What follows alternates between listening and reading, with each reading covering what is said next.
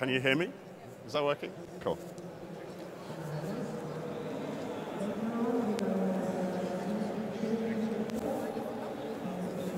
Hello, chaps. It's half past two. Welcome to the, how do you pronounce it? Hypatia? Hypatia stage. Um, I'm Charles Armstrong. Uh, that's interesting. I'm Charles Armstrong. I'm an entrepreneur uh, from London, and I'm going to be talking about ways to succeed with a startup at a time when uh, the economy is shaking and a lot of things are changing in the world. So just to kind of get a sense of uh, what stage people are at in the audience. How many people are already involved in a, in a startup or in, in a venture? Put your hand up. And how many of you are thinking that within the next 12 months you might set up a venture? Yeah, go on. You, sh you should do it. You should do it. And how many of you are, are anxious about the, the condition of the, the world's economy at the moment and what that might mean for, for, your, for your work? It's, it's a strange time. So first I should just say that this isn't quite the, the session that was advertised. Uh, I was going to talk uh, specifically about co-working spaces and ways that you can use them to accelerate the development of a venture, but just speaking to people here over the last few days, it's clear that a lot of people are concerned about uh, the economy, uh, and so I wanted to broaden out the subject to, to really focus on that. So a little bit about my background. Um, I'm a sociologist. I, I, studied at St John's College, Cambridge, um, and then I'm, I'm responsible for, for three startups at the moment. Uh, the first one I founded is called Trampoline Systems. That's a software business in London uh, that specializes in large-scale social network analysis. Uh, we're doing work for uh, mainly large corporations. Uh, we've also launched a couple of projects uh, analyzing business communities in East London and, and in Cambridge. Secondly, the Trampery, which is a shared workspace business in London that opened in 2000 and nine. Uh, I'll be talking a bit more about that during the presentation, but uh, we're, we're, currently opening a network of, of, spaces in London. And finally, One Click Orgs, uh, which is a non-profit and which is providing electronic electronic systems uh, to help it make it easier to set up uh, corporations and non-profits uh, and to involve lots of people in, in decision making. And finally, for the last 18 months or so, I've been working a bit with uh, the Prime Minister's office in London uh, on their Tech City initiative, helping to grow uh, the community of, of, of businesses in, in, East London. So, over the last 30 or 40 years, uh, a fairly established recipe has emerged. Uh, in, it originated really in the States, but now has become obviously very influential uh, in Europe and around the world as well for the route that you follow to take uh, an, an, innovative idea and develop a successful startup. And these are some of the main elements that you expect to see in that recipe. Uh, that like everybody aspires to raise investment from a famous venture capital business. And probably uh, the, the, big Silicon Valley firms are the ones that, that, carry the most status. But now there's a good spread of, of large and niche uh, European venture capital firms that also carry a big cachet. And those firms hold incredible sway over the minds of entrepreneurs for, for right or wrong. I don't say if that's a good thing or a bad thing, but like, that's a very, very strong part of the aspirational ideology that surrounds startups at the moment. Secondly, an emphasis on scaling. Uh, the idea that whatever idea, whatever, whatever innovation you have, whatever market or field you're in, then it's your duty uh, to, to expand that as rapidly as you possibly can. To, to go from something that might be operating successfully at a small scale in a local market to something that's operating in, in multiple markets, uh, is diversifying across different, different sectors. Thirdly, um, a very specific idea of what entrepreneurs should look like and how they should communicate and the kind of language they should use. And, and a lot of that is, is borrowed from the way that large corporations communicate. So there's this, this subtle cultural package uh, of how a startup is meant to behave, and particularly the founders, how they're meant to behave. Um, fourthly, the office. The office is a kind of symbol of your success, that, that you're meant to have ideally a, like a, a gleaming, uh, highly designed uh, place with a reception that somebody will come into, a customer will come into, and they'll be wowed by, by what that looks like. Um, and then finally, the idea that, that as there are different functions that you need to make your business work, you should employ people and you should build up your own team covering everything from development to sales to human resources to marketing, and, and that should be your personal army or your, your own corporate army that's fighting the battle. So that is the standard recipe for how you build a successful startup. And the advice I'm going to give you today is, is really to forget almost every element in that, uh, in that recipe because that might have been a good recipe for the boom years, but in a climate where almost every element of the economy is in question or changing in some way, there are significant risks and, and, and drawbacks with, with most of the elements in that recipe. So we're in the, the later stage of a banking crisis and the middle stage of a sovereign wealth crisis. Unemployment in most of our societies is rising. Investment by large corporations is shrinking. Um, and at the same time, we have crises around energy and, and climate change. Like you can, you can hardly put your finger on any element of our economic and social and political and corporate systems that is really solid at the moment. This is a very, very remarkable period. And it shouldn't be a surprise that the kind of tactics and strategies that are going to be successful in an environment like that are going to be different than the normal rules. So whenever there's, there's a, an, an, untested or a new situation, uh, it's, al it's always instructive to look back at history and try and find parallels because there's actually hardly anything completely new that we encounter. Anything that appears new, there's usually one or other historical precedent that we can find that gives us clues about what strategies are going to be successful. And in this case, I think you have to look back quite a long way. In fact, I think you have to look back 65 and a half million years. Uh, because something quite extraordinary happened to the world at that point. That, that uh, it, it, was like, it was like a 1970s Hollywood disaster epic. Uh, it, it, looks very likely that a, a, substantial meteorite hit the planet, but it also looks as though uh, there was a, a, an increase in volcanic activity that was completely unconnected. There was, there was a whole series of cataclysmic changes that occurred um, and triggered uh, what is referred to as the Permian Triassic mass extinction. Got the point. Um, and this led to 70% of the species that were living on Earth being wiped out over a relatively short period. Um, and that meant that entire food chains and ecosystems collapsed, that all of the normal rules, they stopped working. And as, as we all know, that meant that the dominant species uh, who had occupied the planet for, for, for, for millions of years, they were completely wiped out.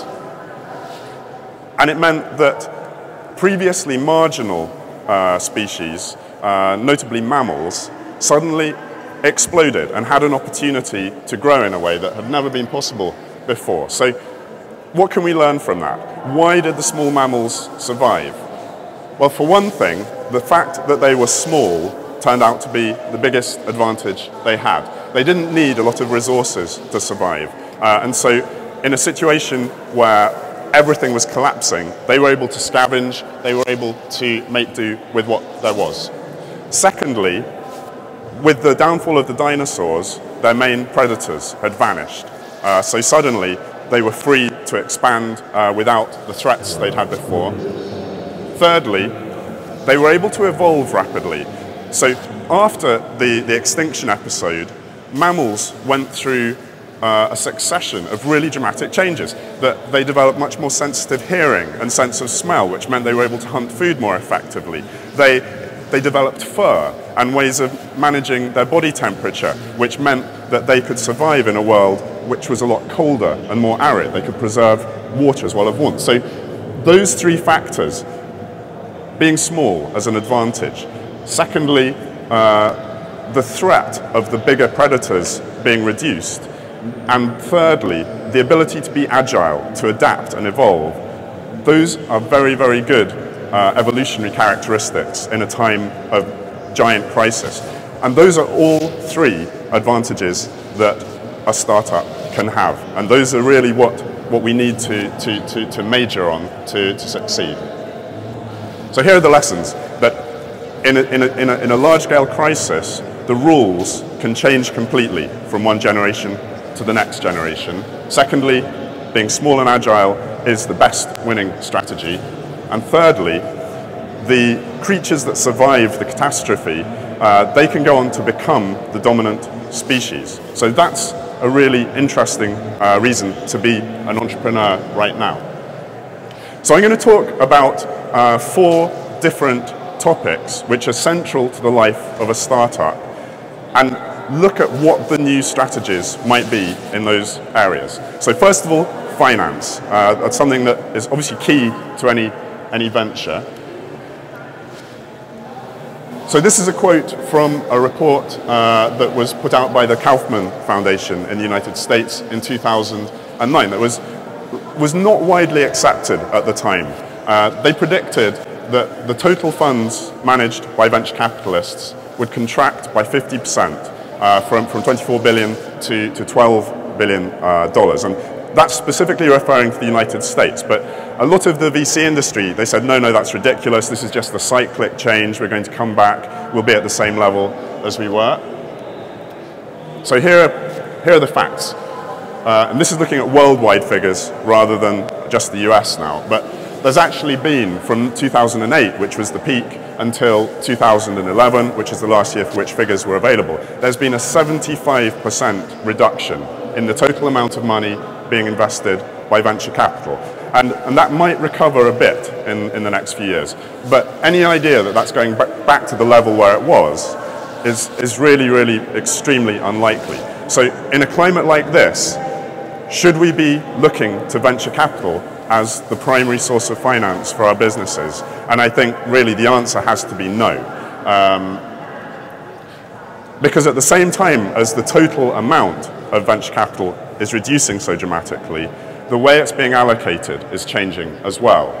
So in, in a hostile climate, venture capital firms become much more concerned about supporting the businesses that they've already made investments in. So they're, they're diverting more of the funds away from new investments to supporting their existing portfolio. Secondly, they're doing a smaller number of deals, but the deals are larger because that's a less risky thing to do most of the time.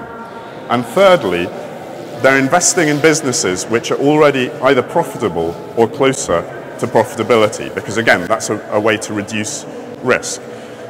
So the overall reduction in, in, in, the amount of money in venture capital combined with these factors makes it even less likely that any specific startup is going to be able to attract venture capital. So that's broadly the way, the conventional way uh, a, startup would look to raise money through different rounds. You'd start off raising uh, perhaps uh, a few tens of thousands uh, of euros from, from, from friends and family once you'd, you'd, established a prototype, perhaps you'd move on to raise a larger amount from angel investors.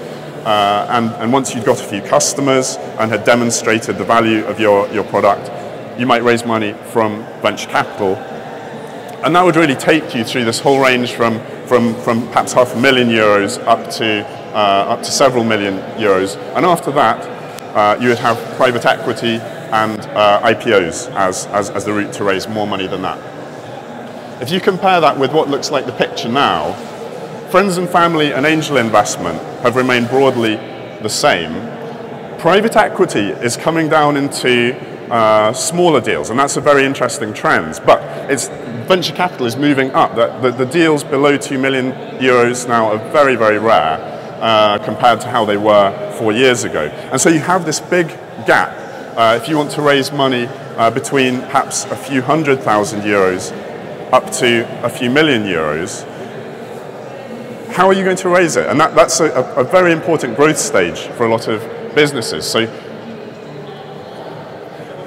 I think we're, we're in the early stage of seeing incredible innovation in venture finance. Uh, and crowdfunding is really a central element in this. How many of you are familiar with, with crowdfunding? Cool. And if I'd asked that question three years ago, it would, it, would, it would probably have been one or two people in the audience. It's really very heartening how rapidly that has risen to prominence as a legitimate, viable financing route. Uh, and there are really three different characteristic varieties of crowdfunding uh, that businesses are using. The one that got established earliest is, is a kind of donation, or almost philanthropic crowdfunding. Uh, and Kickstarter uh, was the first uh, platform that really enabled that to scale. And obviously, they're, they're getting a lot of publicity at the moment. They're doing multi million dollar deals on Kickstarter. Uh, and those are typically situations where somebody providing uh, some money they, they might get a copy of a, a product in return, or they might get a, a, an autographed book, or they might get attendance at a premiere of a film, but they're not going to get a cash reward in most cases from, from their investment. So that's, that's, that's kind of appropriate for certain kinds of projects, typically uh, arts projects, charitable projects. It's less appropriate for, uh, for commercial ventures. So secondly, club-based crowdfunding. So this, this first got established in the film industry and in the music industry as a way for artists to remain independent from uh, big studios, a way to raise money essentially from their fans that would enable them to record and produce and market an album or a film uh, without needing to sacrifice their independence. And in this model, uh, anybody who's putting in, in money, they become a member of a club. Uh, and then if the product becomes commercially successful, they have a right to receive some of the proceeds uh, from that. But they're not actually owning equity in anything. So it's, it's a legally simple form of crowdfunding. Thirdly, equity crowdfunding. And this is the, the, the most recent uh, arrival. It's only in the last year that uh, platforms like Crowdcube and Seedrs uh, have really managed to clear the legal and regulatory barriers to offering the service. Uh, but this is probably the most important model for startups uh, because it, it is essentially like an angel investment round that people who are investing money are actually gaining equity in your business, but it enables you to do it in a way that you could have 100 or 500 investors rather than just five or six. Um, and that's a, very, very powerful route. So out of the people who, is there anybody here who's raised money through crowdfunding to date? Anybody who's, who's considering that option? And, could, could I ask one of you to, have we, have we got a microphone actually?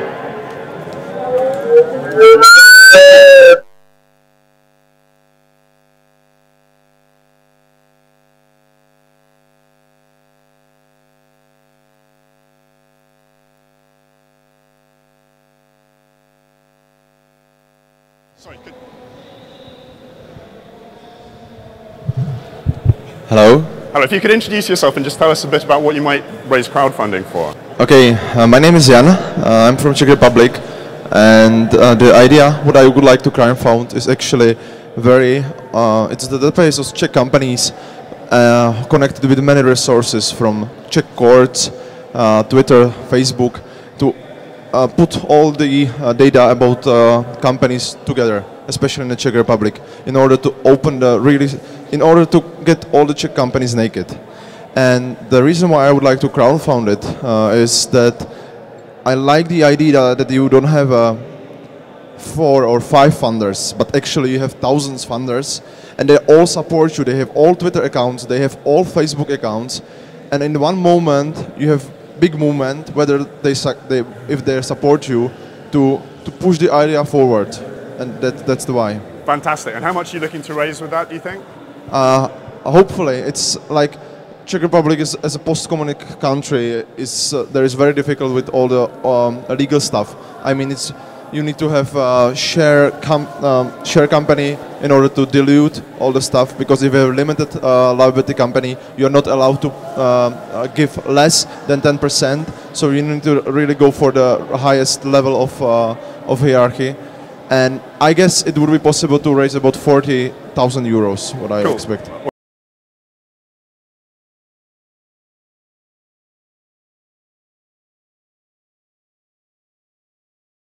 Well, good luck with that. And the lady behind it, you tell us a bit about your project? My name is Angelika, and I'm um, I'm looking for money uh, to do a prototype for an, uh, a bag for an umbrella that's waterproof, a design product. And I'm doing a competition with uh, Gründergarage, who, who's um, working with Google and uh, with Indiegogo and at the moment I'm, I'm nominated with another uh, idea, but I'm uh, preparing the campaign for Indiegogo at the moment. And how much do you, do you want to raise? Uh, I need just money for, um, I have a, um, a, partner already who's doing the prototype and producing the thing, so I need money for the um, patent and for a solicitor and do some marketing activities. Uh, so I'm raising just 5,000 uh, euro with this. Fantastic. Well, very good luck with that. So you've seen some great examples of the way that you can use crowdfunding to advance an initiative that maybe five years ago people would have looked to either a bank or to a venture capitalist to fund. And as those resources disappear, we've got new, new ways to fund that. So the final um, option is, is one that I want to stress because it's not so prominent at the moment. But actually, there are all kinds of innovations available with loan-based finance. So particularly if you've got a business where you need, you, you need capital at the beginning uh, and then you're expecting to generate revenue quite quickly, you don't really want to give away ownership and equity in that. And, and loan-based models can be very, very good for that. So if you, uh, if you, you can essentially crowd fund a loan uh, so that you can have a number of people loaning you money that is secured on the, either on the equity of the company or an, an asset like a patent. Uh, and that gives you a way to raise finance and you pay interest to those, those people. So they get a commercial benefit, but you don't have to dilute your ownership of the company. So I think there's going to be a lot more, ownership, a lot more innovation around bonds and uh, debentures and loan-based models, as well as the, the equity crowdfunding model. But before you go down any of those routes, like the question that every single one of us needs to ask is do we really need investment? Because there's still a, a kind of lingering uh, machismo about raising investment. And it kind of shows, yes, I'm a real entrepreneur, I've raised a few million dollars. But if there's a way that you can grow your business and get your idea to market without raising any capital, then in a climate like this, that's really what we should do because that creates the minimum risk. That means that from the beginning, we're supporting what we're doing by earning income from the market. It's also the best way to validate an idea. You're asking people to pay for something right from the beginning. And there are a number of ways, whatever your idea or product is, there are often ways that you can twist it to get some money in early on. So a classic one is consulting, that, that in order to build any product uh, or service, you, you become a specialist in that. And that knowledge that you gain by becoming a specialist, the chances are there are some businesses out there in the world who are willing to pay you for that expertise that you have and the innovative ideas that you have. And so consulting is a great way to generate money early on in the development of a business. Secondly, if you've got a product or service uh, that is of interest to uh, perhaps a, a, corporate provider or another business, if there's a way that you can disguise it under their branding or hide it under, under their existing products, that can be a way to generate licensing revenue as well. Uh, thirdly, corporate sponsorship. Like, as, as, as conventional advertising uh, becomes less effective, uh, uh, there are a lot of brands that are looking for innovative ways to, to target particular audiences and get their message out to, to, to potential customers. If there's a way that you can spin off something from your product or service uh, that then you can create something that you can raise sponsorship for, that can actually be a really good way to get money into a venture early on. So think very hard if there's a way that you can finance what you want to do without ever raising capital. So just a little bit about my experience in this regard. So I started off um, pretty much on a, on a conventional route. My first software business, Trampoline Systems, uh, I, I, raised the friends and family round, I raised the seed round, and then in 2007, I raised three million uh, pounds, that was six million dollars at the time, uh, from uh, a US-based VC fund. Uh, and, and, like the business was all set off to, to go down the conventional track. And then 2008, uh, the markets collapsed, and that VC firm completely pulled out of the market. Um, so really that's the point that I started looking at innovative routes. And, and in 2009, um, my business, Trampoline Systems, uh, was one of the world's first technology companies to raise finance through equity crowdfunding. And like all of, all of our solicitors told us at the time that what we wanted to do was impossible and we'd go to prison. So I, I just, I just kind of carried on until I found a lawyer uh, who was curious about the idea and was willing to work with me to find a way to get around all of the regulations. And, and we, we successfully raised half a million pounds um, uh, in 2009, uh, and that enabled the business to, to continue and, and to grow. Right now, uh, for, for another business, uh, my workspace business, we're raising uh, a half million pound bond uh, which is very much as I described, that we're, it's actually on a property that we need to spend a lot of money refurbishing. So we're getting private investors to put in the money at the beginning, which we will then repay over five years. We'll pay a good high rate of interest to them, uh, so they get a good return. That will be secured on the lease for the building. So I'm not having to dilute the company. It's paying for the refurbishment so that we can start generating money from it all of the investors will get uh, a good return for it, and it's, it's a low risk to them. Um, if that's successful, then next year I'm actually planning a much larger bond that would be crowdfunded potentially across 100 investors. So a loan-based mechanism combined with crowdfunding. And I think if that's successful, that opens up a lot of possibilities. So, 10% per annum. So that's a good rate. and if you look, if you, you might have come across uh, Zopa which is a peer-to-peer lending mechanism. So for smaller sums, there's already a platform where you can try and raise, raise money. That doesn't work so well for, for bigger, bigger sums. So the main lessons, bootstrap your company if you possibly can. If you can find a way to avoid raising money, it's the best way to work in an environment like this. Secondly, look at innovative mechanisms like crowdfunding or bond finance if you really need cash. Thirdly, don't be scared to innovate. Uh, like finance can be an intimidating thing. It's got its own language, its own rules. Uh, but if you're like any entrepreneur, once you understand the fundamentals, if you can start thinking of different ways to organize it, if you can find a lawyer that understands what you want to do, then chances are you can invent a new way of raising finance. And this is a great time to be trying to do that because across Europe, regulations are being liberalized on, on a lot of these, these kind of investments.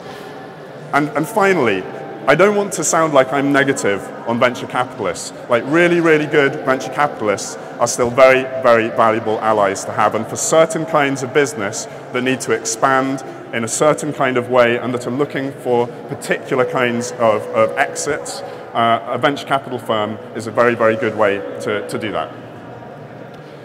So that's finance. Secondly, growth. Uh, this would seem to be a straightforward thing. That like, surely if you've got a startup, you want to grow as rapidly as possible. Well, I'm not sure that that's strictly true at the moment uh, because there's a balance between the rate of growth and your resilience, your ability to survive changes in the environment. Uh, because when you're growing very rapidly, you're having to maybe expand your team very rapidly, you're expanding your costs, uh, and you're entering markets that you might not be so familiar, you might not have such strong communities and networks, then it's like an army that's advancing very rapidly. It gets harder and harder for the supplies to get through because they're having to go further and further. So anything that changes in the environment, that can lead to an increased risk of failure. So I don't want to, um, to, to, go into too much detail uh, about this, but um, like with, with my so first software business, Trampoline, uh, we were breaking even uh, quite early on in the company's existence with five people. We then raised venture capital and grew to 20 people just before the 2008 crisis hit and our venture capitalist departed. And we were left in a position that we were spending £100,000 a month. We didn't have anything like that level of income. Uh, and like it took a lot of innovation on our part to stop the company collapsing at that point. Uh, we managed to do it through the crowdfunding and a kind of very carefully planned restructuring that got us back down to five people. But essentially, I had to start growing trampoline uh, all over again from five people. And I've done it very differently the second time round, I tell you. So be very careful about growth. Like growth is what we're all here for. It's a great thing, but do it at a, at a rate and in a way that's planned so that you can survive any shocks that might come your way. So the lesson about growth, be, be mindful of that balance between resilience and your ability to survive shocks and the rate of growth that is expanding your market and bringing in more resources.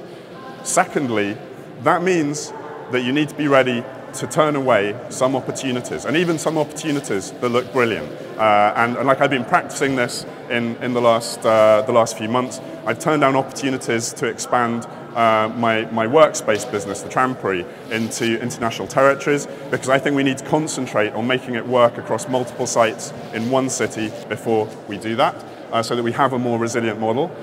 Thirdly, try to plan your growth in shorter steps so that at each step you become profitable at that level before moving on to the next step, rather than trying to do giant growth steps where you might have to be in the larger market for several years before you're self-sustaining at that level.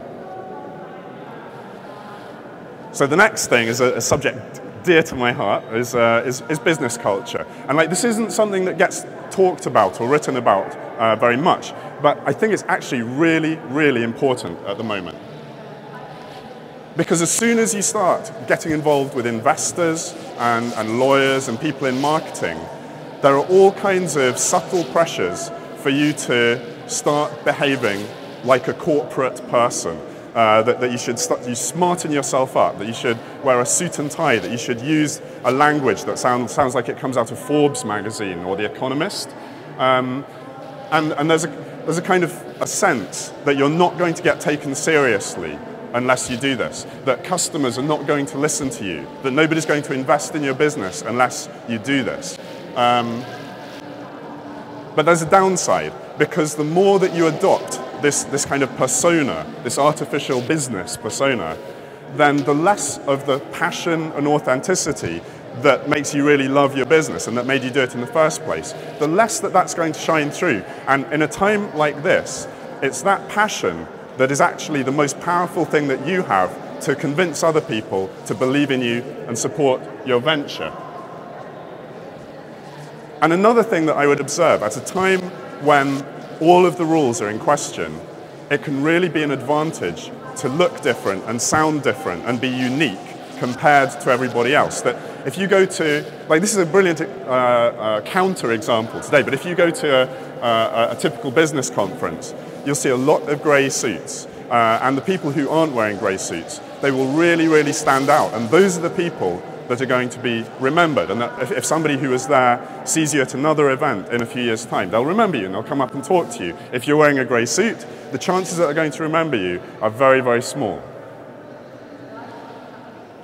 So again, just from my experience, when I set up trampoline systems for the first couple of years, um, I was kind of, I'd never done a, a commercial startup before, uh, and I, I, did the suit thing, and I tried to, to, to, present myself that way. And after, after a couple of years, I realized it was just making me uh, really miserable in what I was doing. And, uh, and so I broke with that at that point. Um, and it was really at that point that, that things started taking off. And I have found that um, if you're yourself, if you just behave as yourself, uh, and you, you have the conviction, then even big corporate executives and government uh, officials uh, and investors, they don't care about that at all. They care about what you're saying and what your, what your product project is. Sorry, had a question?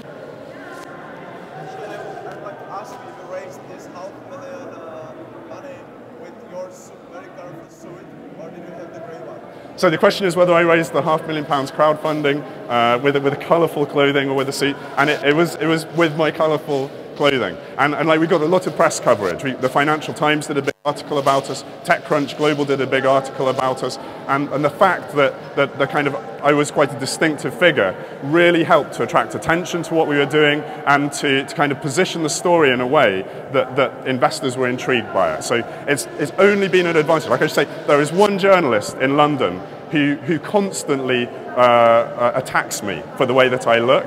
But other than that, everybody, everybody just seems to, to accept it, and it's been a positive.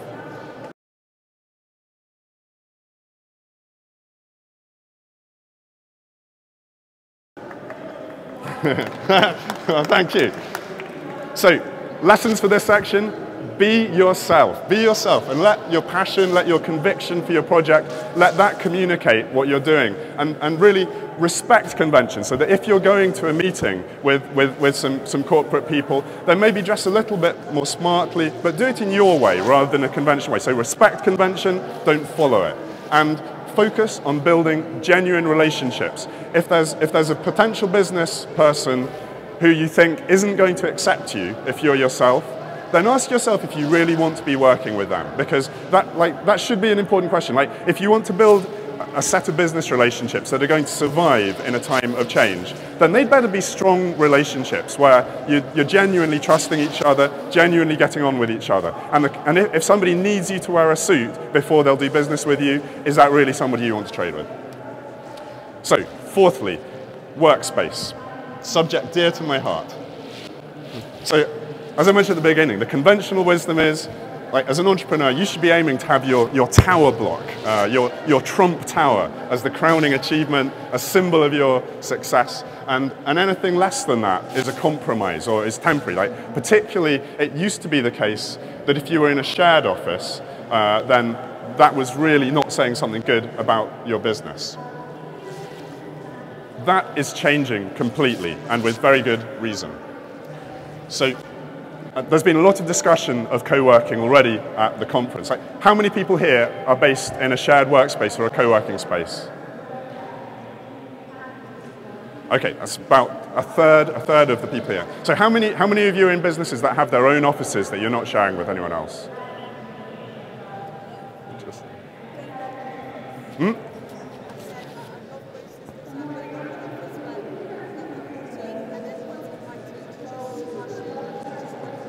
Okay, understood. And how many of you don't have any office at all? Are you, are you in cafes, you're working in bedrooms, so forth?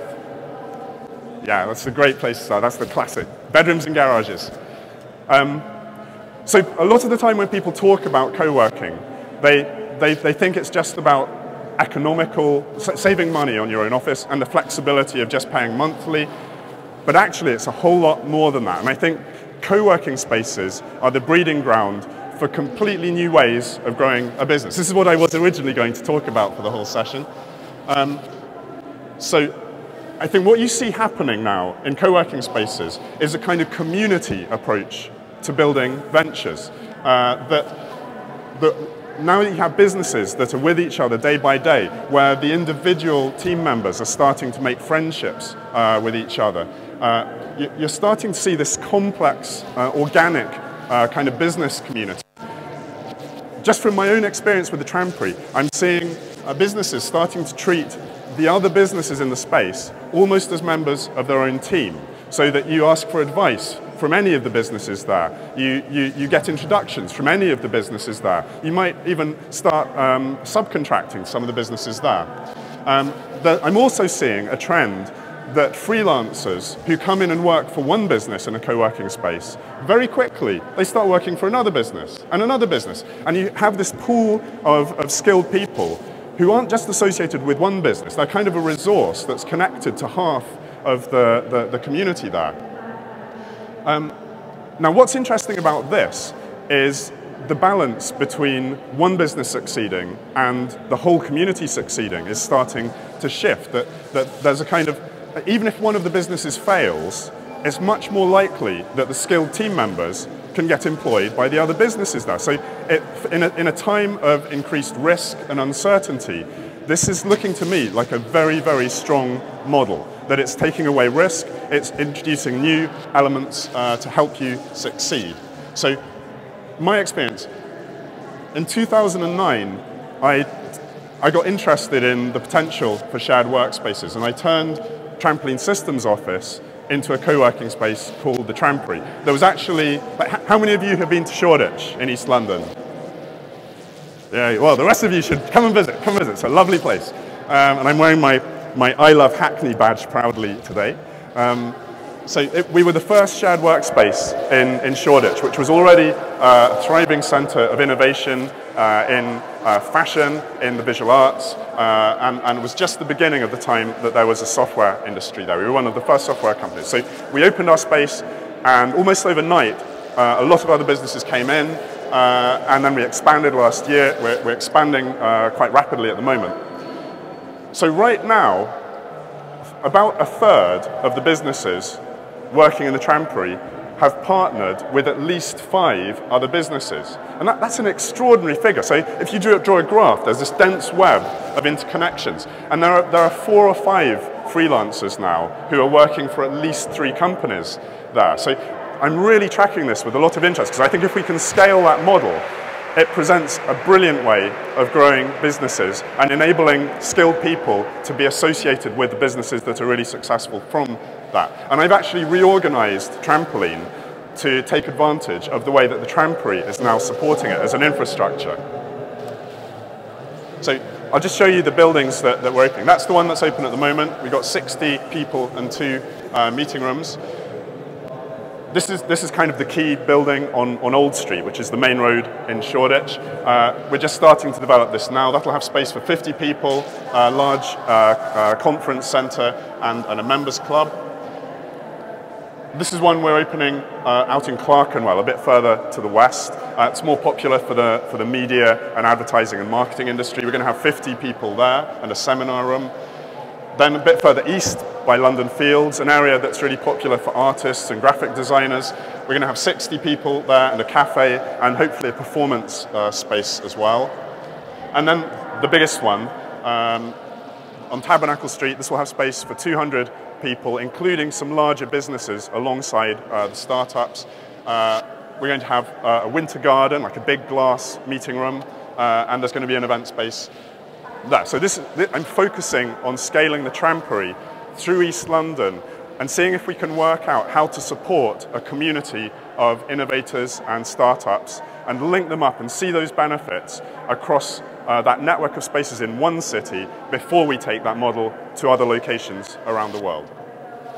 So just some pictures from the interior. As you can see, we, oh, this is actually, we, we, we hosted a dinner for, for Prince Andrew, uh, which was quite an exciting uh, occasion. And uh, the Prime Minister David Cameron uh, came to visit us at the Trampery last November uh, to mark the first year of uh, the government's Tech City initiative.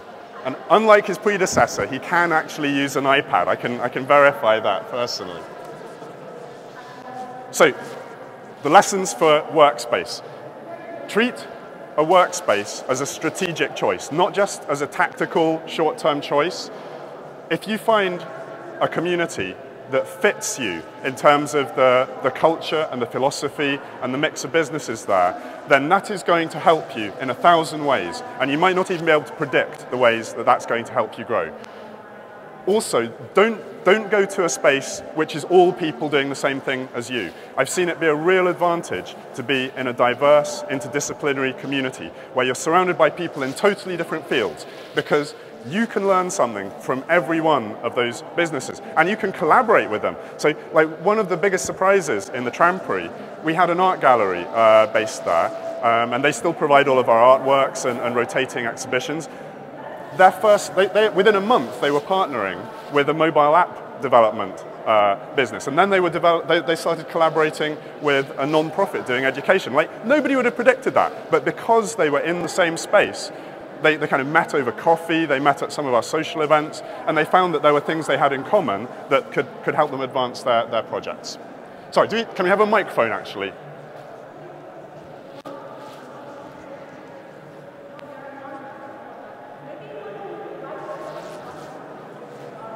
Thanks.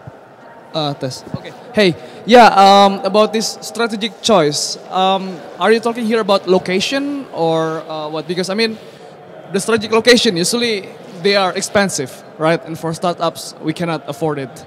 Um, yeah, is this what you mean, or do you have any um, suggestion or tips if the strategic location is really expensive? Thanks. Well, so, location is important, that, but, but I would say that actually the mix of uh, other businesses, and the, in a way, the culture and philosophy is more important. Uh, that if, if, if you choose a location that's a bit cheaper, that's maybe one kilometer away from the epicenter, but it's got a really, you feel comfortable there, you feel at home. That, like, it's, an, it's more of an instinctive thing than a rational thing, but if, if it feels right, and you like the people that you meet there, and there are one or two other businesses that you know are relevant to what you're doing, that's what I mean by strategic.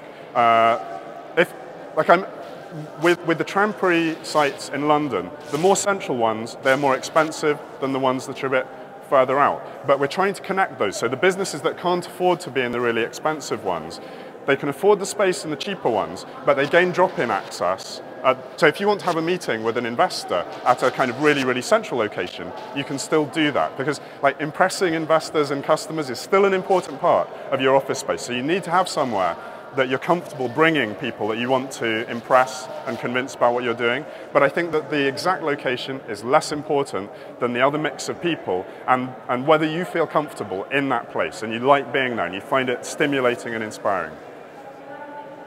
Um, so two final points on workspace.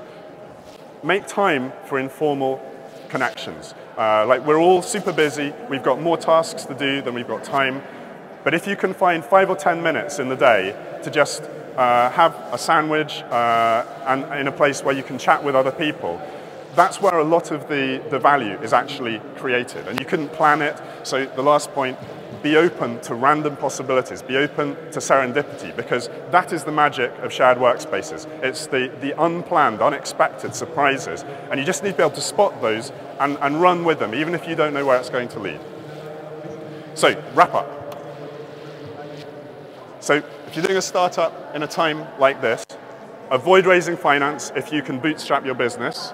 If you need investment to get your business going, consider innovative routes like crowdfunding or bonds. Be very careful how quickly you grow. Make sure that you could survive shocks and, and still be, be resilient. Fourthly, is it one, two, three? Fourthly, be yourself. Don't feel that you need to pretend to be something different just to be in a startup. Don't. Fifth, find locations, whether they're co-working spaces or, or, cafes or whatever, uh, where you can associate with people who can help you and build a community. And finally, be ready to outsource parts of what you're doing to partners. You might not need to develop your own marketing department if you get to know another small business that is really good at marketing, and, and they're happy to do that for you for, for a sensible commercial arrangement. So finally, be a mammal. Learn the lesson from 65 and a half million years ago. We all want to be mammals. We want to be the ones that survive and evolve and prosper. We want to be the ones that become the dominant species. And don't ever think that it makes sense to copy being a dinosaur they're not the ones that are going to inherit the, the, the, the economy as it sounds. So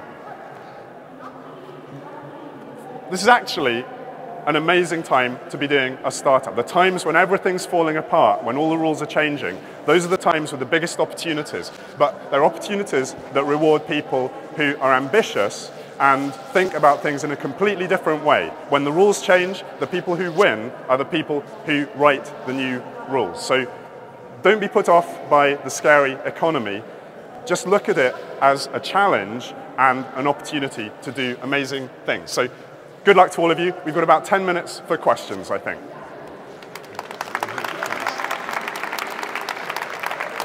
Okay, got it. Oh, at the back.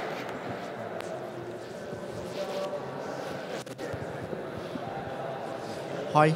Hi. My name is Ulash, and uh, I wonder, since you already uh, funded one of your projects by crowdsource, uh, crowdfunding, what would be the best uh, and effective ways that we can also fund our ideas or projects by uh, crowdfunding? Thank you. So there are several elements. Like crowdfunding is not easy. Like uh, that's the first thing I say. It's a lot of work, um, and it all rests on communication and networks. So the starting point, it's not something that, that kind of a random public is going to come to you. You start with your network.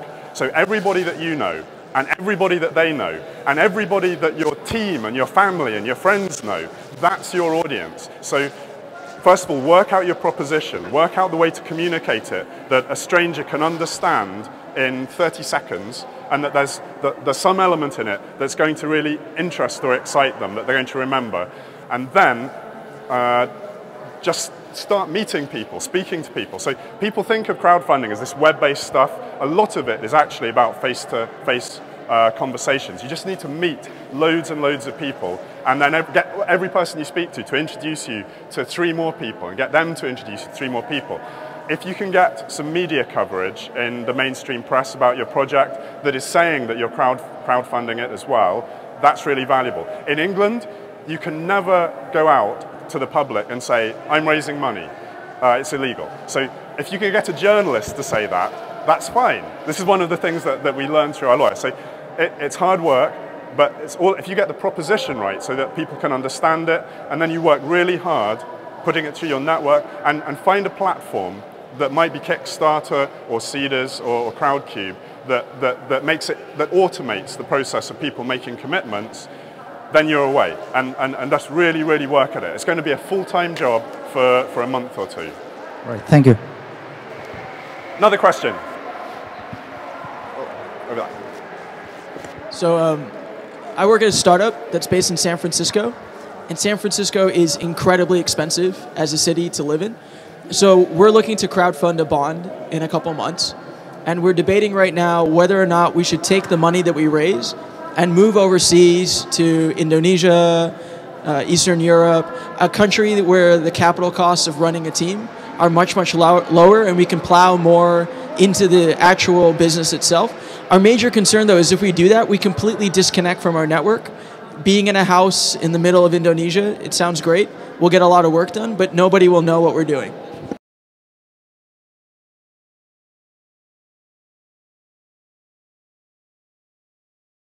So I think it's a great idea. Like when, when I was doing the prototype for trampoline systems, I actually raised a grant to do that, um, but it was a tiny grant. Uh, and I, I was living in London at the time. It was clear I couldn't do it. So I moved to an island in the Mediterranean, and I lived there for two years to do the prototype. And, and one of my co-founders moved to an island on the Norwegian coast. And, and like, that's how, how we did it. And we weren't uh, that wasn't a time when we were actively marketing, uh, but it meant that we could do that development stage. Now, somebody just yesterday, I can't remember who, but somebody was telling me about a business where the whole core team was essentially being nomadic. They'd started in, in San Francisco, then they moved to, to London, then they moved to Hong Kong, then they moved to Tel Aviv, and they're just moving around. And it's a really new way of doing things, right? And they're building up a community every place they go. Now, there is a trade-off because obviously if you're like I'm in I'm in Shoreditch. I've been in Shoreditch now for nine years and that's an amazing community. And, and so like every time you step outside the door you're meeting people who are doing something relevant. You go and live in Indonesia in the middle of a forest. That's not going to happen. So you might need to look at other ways to be actively building your community using social media and so forth. But totally reducing your costs is a great great thing to do. And San Francisco is crazily expensive. London's crazily expensive. Like for, for certain businesses, like, and, and, tell friends of mine to just get out of London, live somewhere cheaper, and just come in once a month or something. So I, I would totally encourage you to look at alternative locations. Another question. Over here.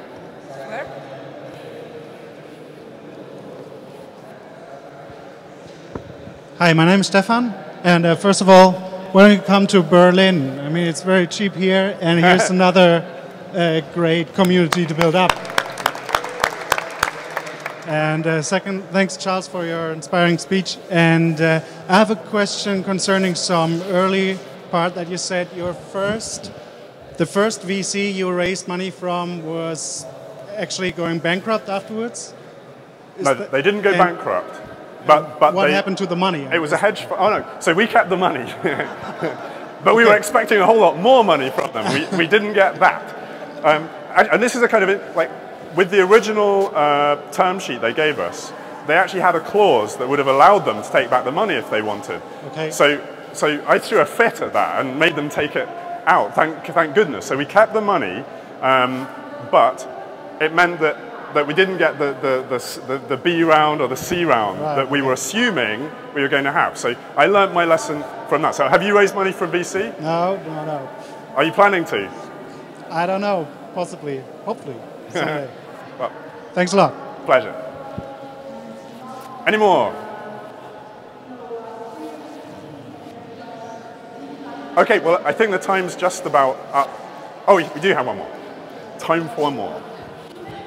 Actually, uh, I lost the first part of your presentation, and we have got a, uh funding from a, a investment from a business angel in Turkey.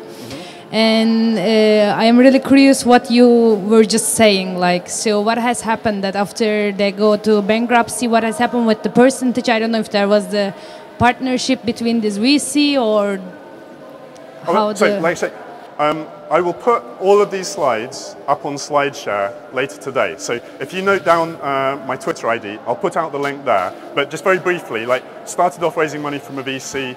Um, they withdrew from the market because they were actually a hedge fund, and they, they, they started losing a lot of money and decided just to focus on their core business. Um, I then raised half a million pounds in 2009 through equity crowdfunding. Um, and it's kind of completely changed the way that I look. Working with angel investors is fantastic. I really love working with private investors. So I, you've, done, you've done a great thing there. So best of luck to you. So any, anytime you're visiting London, do come and visit the Trampery. I'd be delighted to see you. Best of luck with your ventures. Enjoy the last day and a half of Campus Party and see you again.